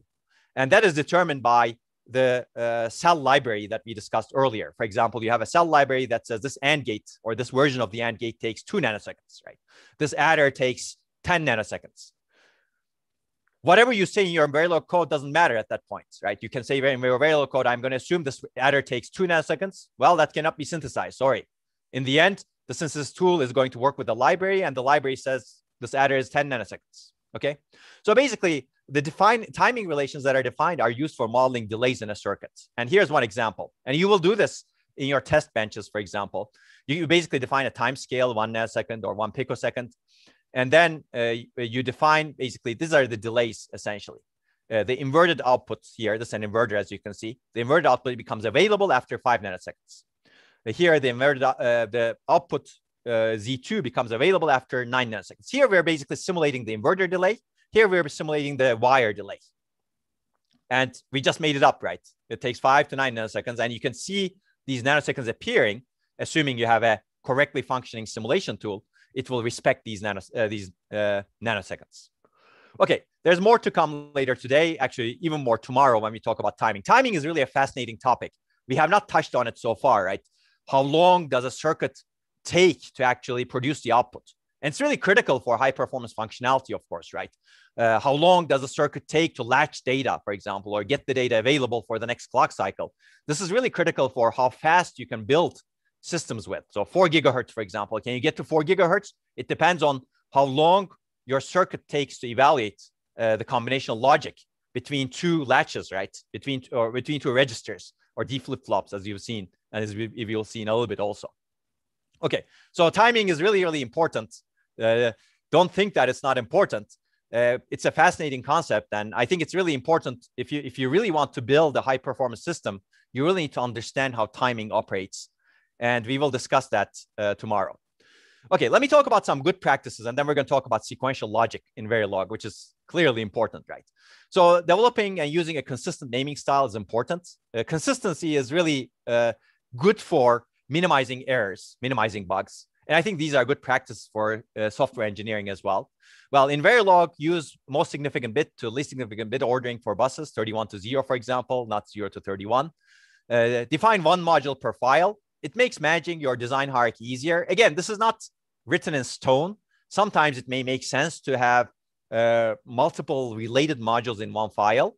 fine, but at least have some boundaries basically. Don't put all of your design in and uh, thousands of modules into a single file. That makes it really hard to uh, uh, manage things, right?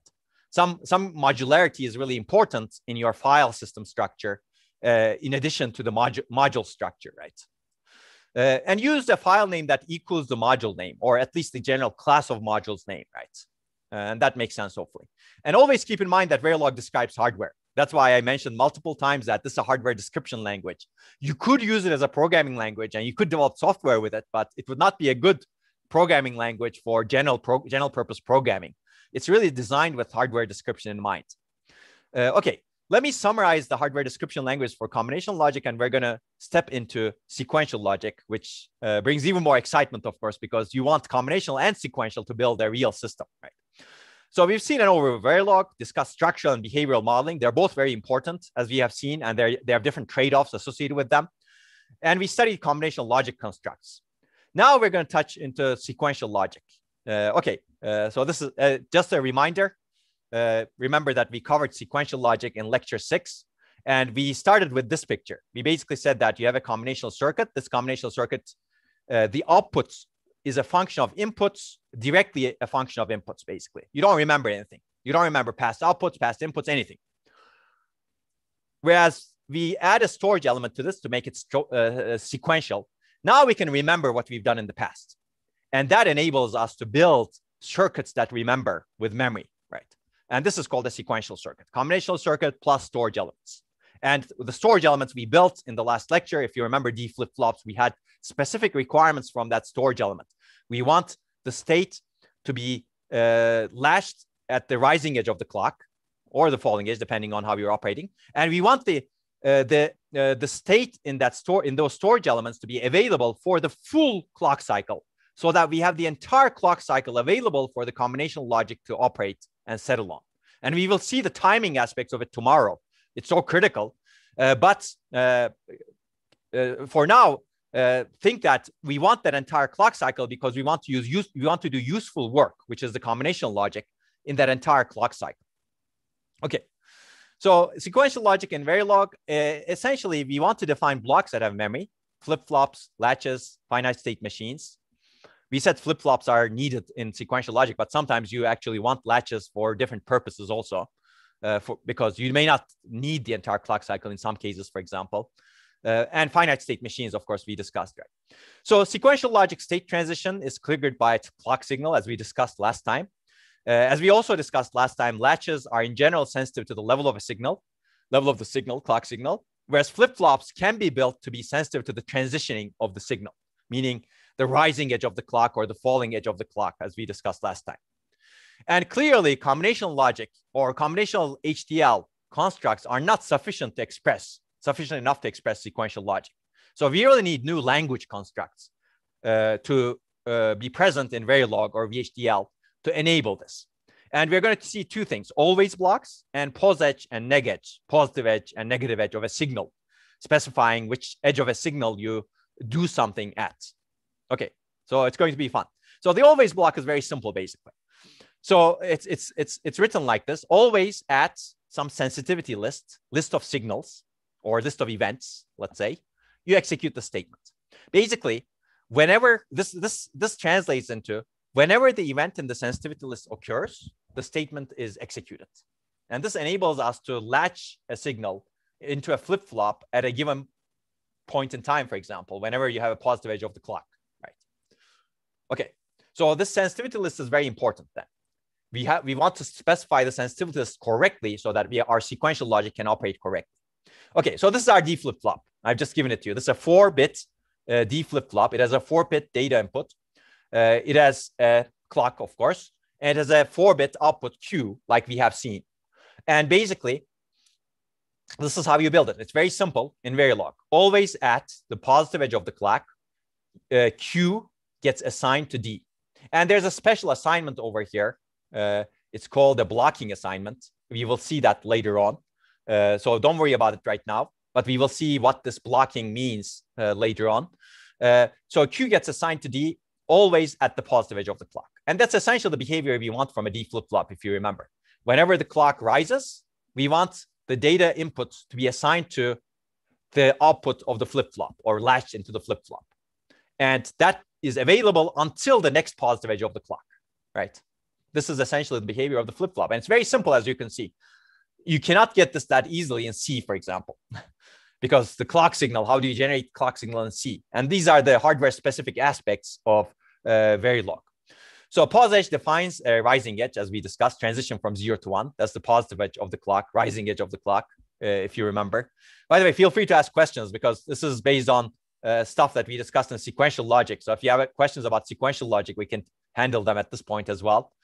Uh, and the statement is executed when the clock signal rises. I mean, I, as I said earlier, positive edge of clock. You could also have a negative edge triggered uh, flip flop as well. You could basically say always at negative edge of clock, do this that will be triggering at the negative edge. Okay. Uh, and once the clock signal arises, in this particular case, the value of D is copied to Q. Okay. And this can get synthesized to a different implementation of a D flip flop with a hardware synthesis tool. So again, there might be different implementations. Okay. So this assign statement is not used within an always block. Uh, this less than or equal to kind of assign statement is a non-blocking assignment. Later, we will see the difference between a blocking assignment and non-blocking assignment soon. And there's a question, what does reg mean? And I'm going to cover that next. Don't worry. Basically, assigned variables need to be declared as reg. It's not a register, unfortunately. The name there does not necessarily mean that the values are a register, basically. It could be, but it doesn't have to be. So it's just, again, a syntax. It's, a, uh, in my opinion, it's unfortunate syntax. It should be called something else. Uh, but basically, whenever you're trying to assign some variable, you should declare it as a reg, okay? Uh, again, this is different from a register. Register uh, uh, is something else like we discussed in sequential logic, right? It's basically, for example, you can have a register of uh, four flip-flops. That, uh, that, that gives you four bits, right? Uh, I mean, in this case, it's also a register, I believe. But again, uh, don't worry about that. It's you think of this as a syntax. don't worry about the exact reason for it at this point. So basically, someone is asking, so we don't have to define the gates needed to make a flip flop? Absolutely not. This is your behavioral flip flop, let's say. Of course, you could use gates to actually define the behavior of a flip flop, but that will be your structural flip flop, the flip flop. Very good question, basically. Uh, you could you could also do it in gates, but now you can imagine that doing it in gates will be uh, a lot more work. okay, let's talk about asynchronous and synchronous reset. This is not necessarily a Verilog concept, but this is more of a uh, uh, concept for designing flip-flops uh, that are resettable at the start of a at the start of a machine, for example but I want to introduce it because you're going to use it in your labs, etc., and it's important. Uh, but uh, we're going to see how it's implemented in uh, Verilog also because they provide good examples of this always block and the sensitivity list. So reset signals are used to initialize the hardware to a known state. Usually resets is activated at system start. On power up, for example, the first thing the machine does is it resets itself. So there's a reset signal get, gets routed to all of the hardware components, and they basically get reset to a known state or a known state that you really want to operate starting from. So there are two types of reset signal, asynchronous reset and synchronous reset. Uh, asynchronous means the reset signal is sampled independently of the clock, as we will see in an example. Reset gets the highest priority in this case. And this is sensitive to glitches, as we discussed uh, later on. We're going to discuss even more tomorrow. Uh, we discussed it in sequential logic a little bit, right? Uh, so, so, that we developed the D flip flop as opposed to using latches. Uh, but this may have metastability issues, basically. Uh, and we'll be this will be discussed in lecture eight, which is tomorrow. Synchronous reset is uh, the uh, uh, the the example where the reset signal is sampled with respect to the clock. So you're not independent of the clock anymore. The reset should be active long enough to get sampled at the clock edge in this case. And this results in a completely synchronous circuit. So completely synchronous circuits are good because they're easier to reason about and you're they're less sensitive to glitches. Okay, let's take a look at the examples. So this is an example of a D flip-flop with asynchronous reset. So now there is not a, just a clock signal, but there's also a reset signal, right? So basically always at the positive edge of clock or negative edge of reset, we basically have this uh, statement. If reset is zero, Q gets assigned to zero. Otherwise, Q gets assigned to D, okay? So this is asynchronous reset because this block executes regardless of whatever the clock value is whenever you get a negative edge or falling edge of reset. Right. Okay. Basically, in this example, two events can trigger the execution of this begin and end uh, block: a rising edge on the clock or a falling edge on reset. Okay. So this is asynchronous, as you can see. Okay. Okay, and then begin and end for longer statements, a begin and an end pair can be used because now you're actually specifying much longer. Here, it was not really necessary, but it's a good idea to improve readability in general. Okay. Uh, okay, so this is, uh, we already showed that this is uh, with asynchronous reset. Okay, this should be, uh, okay, yeah. Uh, okay, I think this is the same basically. Here, uh, I, I already described this basically. Here, this asynchronous reset you first check the reset. If reset is zero, Q is set to zero. This is asynchronous as the reset can happen independently of the clock, as we saw, uh, on the negative edge of the reset signal, right? And if there's no reset, then regular assignment takes effect over here. Okay, which makes sense, which is the else part basically over here. And that can be triggered uh, either at the negative edge of reset or positive edge of clock. But if you're at the negative edge of reset, that means that there is reset, right? So this else is executed only at the positive edge of clock, basically. You can make sure of that. Okay, and now let's take a look at D flip-flop with synchronous reset. So in this case, we don't have reset in the sensitivity list because we don't want to trigger anything. Uh, we don't want to trigger the execution of the statement uh, uh, when uh, for anything else other than the clock, base. Only we want to sample uh, the input only when we have a rising edge of the clock. Okay, that's so simple. This is synchronous now. Everything is synchronized to the clock. You cannot input a value to the D flip flop without without actually uh, uh going uh, uh, at, at any time other than the positive edge of the clock. Okay, always at the positive edge of clock, you execute the statement. The process sends them only to clock. Reset happens only when the clock rises, basically. And this is a synchronous reset. And then you still check the reset first. If the reset is zero, when the clock goes from zero to one, meaning rising edge, then uh, the output gets a zero value. Otherwise, the output gets the input D value? Okay, now let's take a look at a more complicated uh, D flip-flop uh, with asynchronous reset and synchronous enable, let's say. okay, uh, so you can see that uh, the sensitivity list is positive edge of clock and negative of reset. So you can see that this asynchronous reset, it's very similar to what we've seen earlier. But now we have an enable signal. So basically enable means uh, flip-flop gets the uh, value of the input only if it's really enabled. Okay. So note that the enable signal is not in the sensitivity list in this case, meaning that it's not asynchronous. Enable signal is really synchronous to the clock, but the reset signal is asynchronous to the clock over here. Okay, and the, the way to read this is Q gets D only when clock is rising and enable is one. Okay, uh, so there's some question. Let me try to take a look at it. But in the example, the input is instantly propagated to the output, right? Whereas in our D flip-flop last time, it took the negative at the clock edge to propagate to the slave. Oh, okay. So I think this is uh, this is something that uh, again, this is a behavioral description, right? You're thinking very structural at the lower level. If you think about the behavioral description of a D flip-flop, it's exactly what I just described with Verilog over here. We don't we don't think about master or slave underlying how uh, how how the uh, D flip-flop is implemented in the underlying circuitry or logic. But all we care about is at rising edge of the clock, I sample the value and that becomes available. What we gave you earlier was an uh, a particular implementation of the D flip-flop actually. There could be many different implementations of the D flip-flop.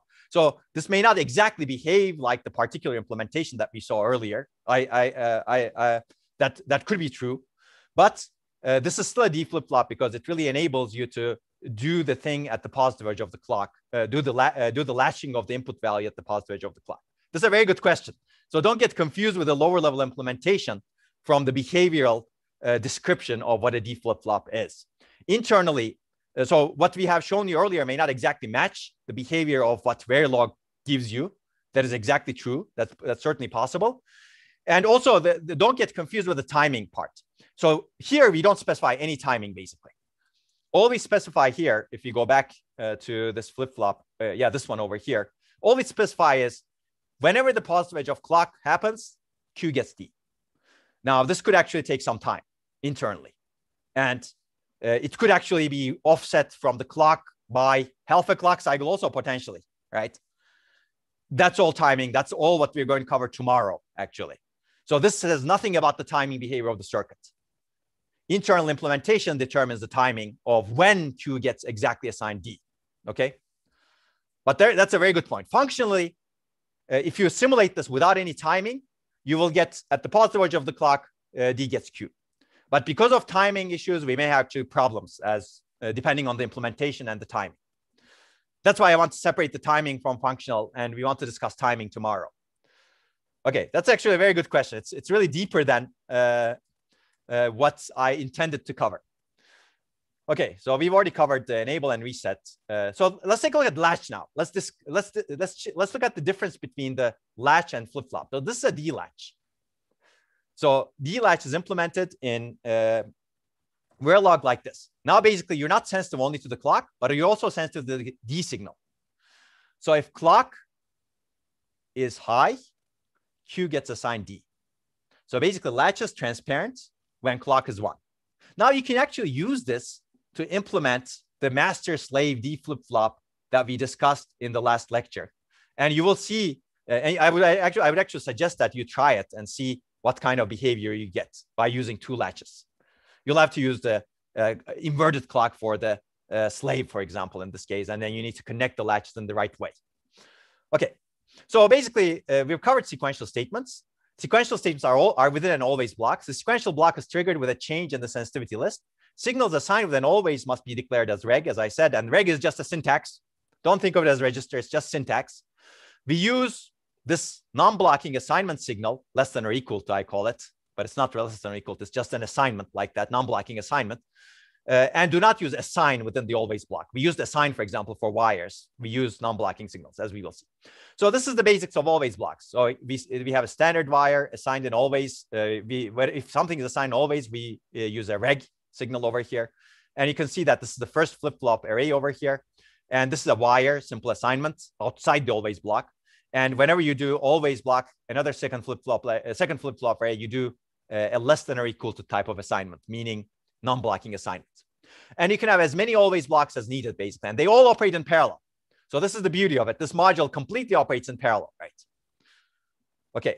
Uh, okay, now you may have the question actually, hmm, I, I'm using special over here. Does it get the value over here or does it get the old value? Well, we'll see that in a little bit, basically. Okay, uh, so basically assignment to the same signal in different always blocks is not allowed. That's important, right? Uh, because then uh, there's no way to understand how the circuit will behave. Uh, okay, why does it always block remember? Let's take a look at uh, this over here. We go back to the, our the D flip-flop. This statement describes what happens to signal Q. Uh, but what happens when the clock is not rising? The value of Q is preserved, essentially. It's remembered, right? Uh, but that's not always true. So in this case, the value of Q is preserved because when the clock is not rising, you have the old value of Q. It doesn't get assigned, right? But an always block does not always remember, and you need to be careful of this. And uh, you may actually have combinational statements. So this statement, for example, describes what happens to signal result. So if invalid, uh, so you can, you can see the sensitivity list is triggered with invalid or data. Either of them may change uh, for this to execute. If invalid is uh, one, result is not data.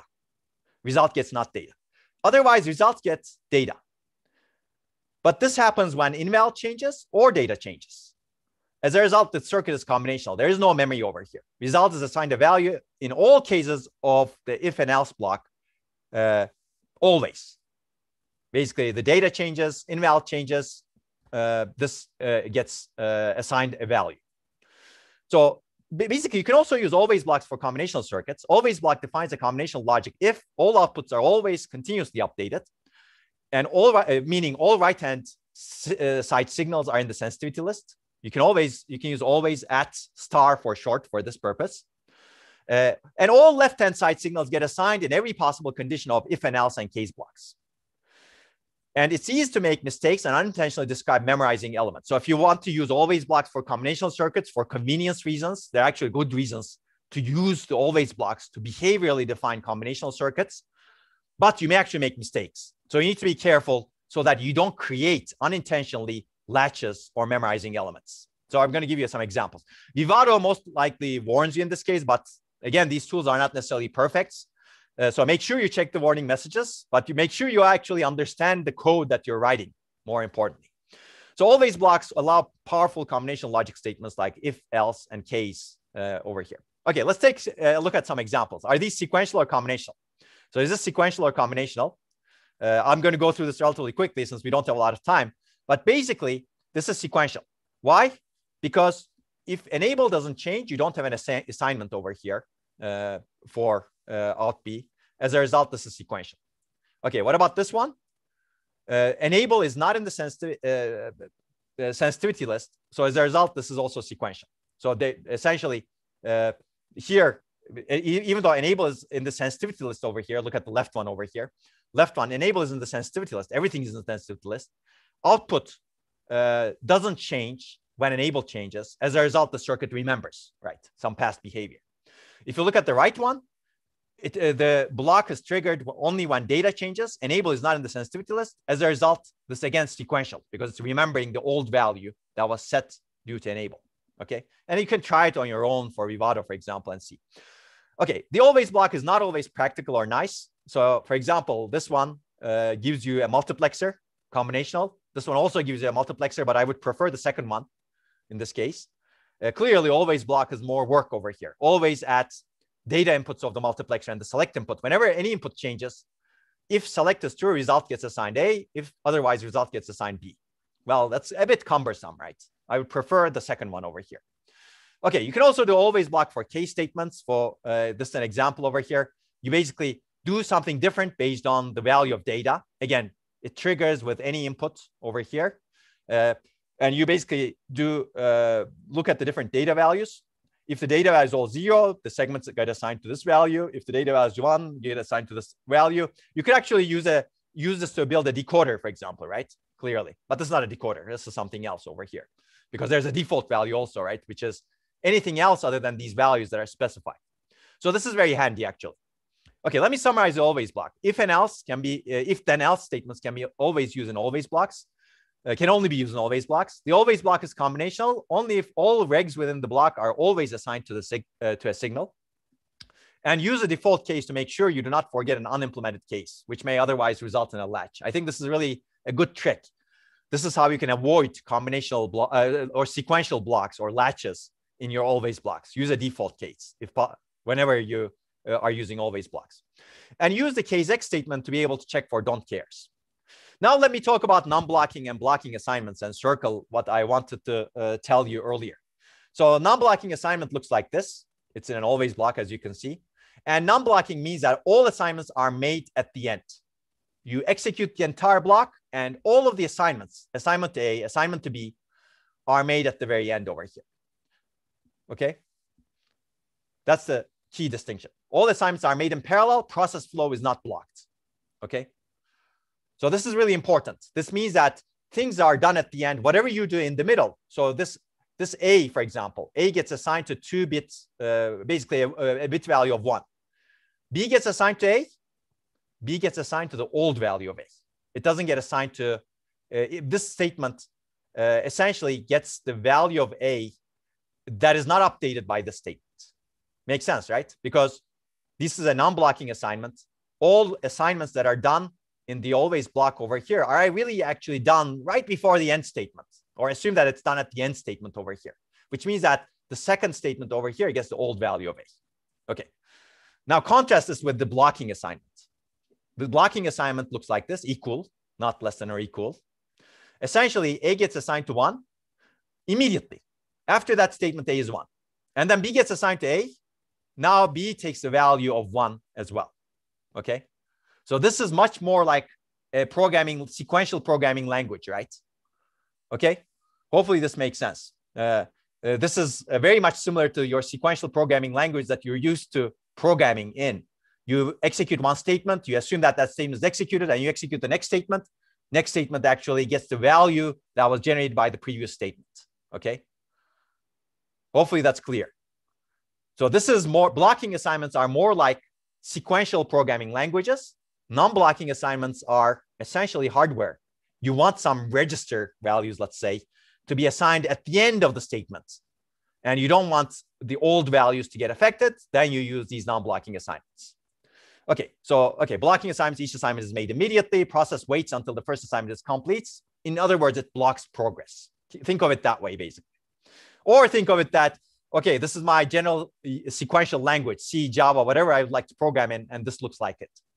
Okay, let's take a look at an example of this blocking assignment. So if A changes to one over here, uh, essentially uh, all values are updated in order, right? P, uh, so if A changes to one, P gets one, and then uh, A changes to one, uh, G gets zero, and then uh, P gets assigned to one earlier, right? So S gets assigned to one because it's an XOR, and then this happens that way. Okay, you, you, you can simulate this on your own, but basically because of the equals over here, you sequentially execute this one. The result of uh, the result that you get in P affects this one over here. And the result that you get in G and P affects both of these over here. Okay. Now, if you actually do these with non-blocking assignments, that's not the case, basically. The result that you get over P over here assigns at the end, which means that A XOR B over here doesn't affect uh, the value of S over here. That's true for A and B over here, doesn't affect the value of here. And clearly, uh, the P and the G that you generate over here don't affect the value of C out over here. And again, you can simulate this on your own. Uh, basically, when S is being assigned, P is still zero over here. Okay, uh, I think uh, uh, since later on, actually, later on, if, if you actually simulate the statement because you have the sensitivity list, anything is in the sensitivity list, because P changes later on, in the next iteration of this always block, uh, the process triggers again, now you get the values of P and G and S and C out that were assigned earlier. And that, that is used as inputs for the next iteration, if you will. Okay, so hopefully that's clear. Okay. So let me talk about the rules for signal assignment. Basically, use always at positive edge clock and non-blocking assignments to model synchronous sequential logic.